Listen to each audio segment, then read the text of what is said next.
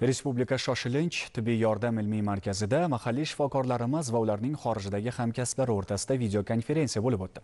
Rossiya va germaniyadan mutaxassislar ishtirok etgan onlayn muloqotda koronavirus infeksiyasini davolash va diagnostikasida o'zaro tajriba almashish e'tibor markazida bo'ldi.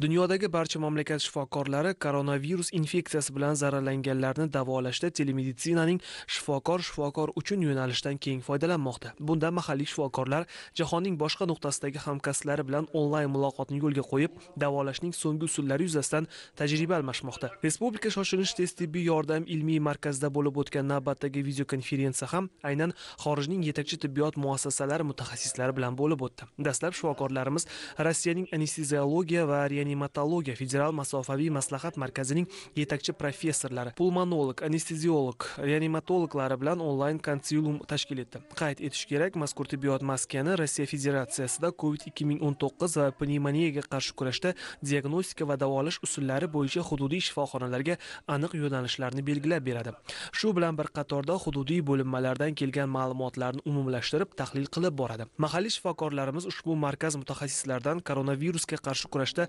rossiyada amalga oshirilayotgan ishlar haqida ma'lumot olishib davo usullarining yangicha yo'nalishlari bo'yicha tibbiy maslahatlari bilan tanishdi. Shuningdek o'zbekiston va rossiyalik mutaxassislar boshqa xorijiy davlatlar tajribasi ularning bu yo'lda olib borayotgan ishlarini tahlil qilishdi. Mutaxassislar sun'iy nafas oldirish davolashda qo'llanilayotgan dori darmonlar yuzasidan o'zaro fikr almashdilar.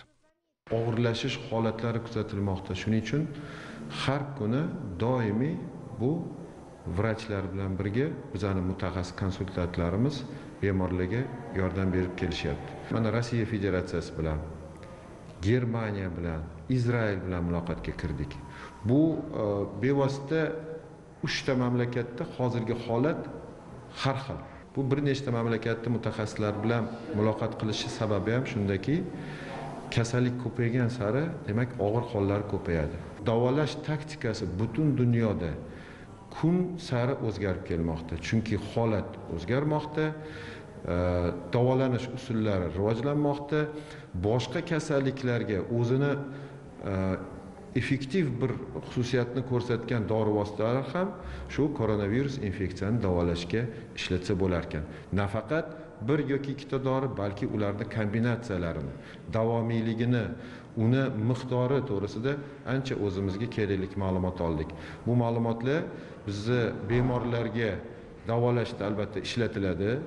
Biz o'zimizni mutaxassislar bilan yana bir narsani ko'rib chiqamiz. Kerak bo'lsa normativ hujjatlarga o'zgarishlar kiritamiz va doimiy xuddi shu bizani muhtaram prezidentimiz aytganlaridek doimiy bu bemorlar bizani nazoratimizda bo'ladi. Germaniyaning frayburg klinik universiteti bosh shifokori bilan bo'lib o'tgan videokonsiliumda esa ayni vaqtda mamlakatimizda koronavirus bilan xastalangan ahvoli og'ir deya baholanib jonlantirish bo'limida bo'lgan bemorlarni davolashda qo'llanilishi lozim bo'lgan keyingi tibbiy jarayonlar xususida fikr almashildi. Yurtimiz shifokorlari germaniyalik hamkasblariga bemorning ayni vaqtdagi ahvoli qo'yilgan tashxis va olib borilayotgan muolajalar to'g'risida to'liq ma'lumot berishdi. O'z navbatida germaniyalik professor tibbiyot xodimlarining muolajalari standartlarga mosligi yo'nalish to'g'ri tanlab tanlab olinganligini qayd etdi. Bemorning ahvolini o'nglash bo'yicha ko'rilishi lozim bo'lgan navbatdagi choralar to'g'risida o'z tajribasi bilan o'rtoqlashdi. Juda yaxshi davolash yo'lini tanlagansizlar biz ham klinikamizdagi bemorlarni xuddi shu yo'l bilan davolamoqdamiz. Faqat sizlarga yagona tavsiyam shuki bemorga sun'iy nafas berish jarayonida uning yotish shaklini o'zgartirib turishingiz kerak. Ya'ni 16 soat davomida bemor qorin bilan undan keyin bel bilan yotgani ma'qul. Bu vaqt mobaynida bemorning ahvolini doim kuzatib turishingiz kerak. Agar 16 soat davomida bemorda ijobiy o'zgarish bo'lsa demak muolaja to'g'ri ketmoqda.